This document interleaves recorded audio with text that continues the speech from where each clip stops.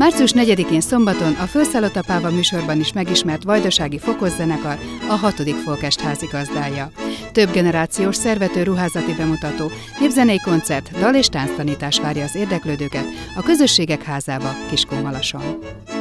A Folkestet a Nemzeti Kulturális Alap Halmos Béla programja, valamint az Extraktum Pharma gyógyszergyártó forgalmazói szaktanácsadó ZRT támogatja.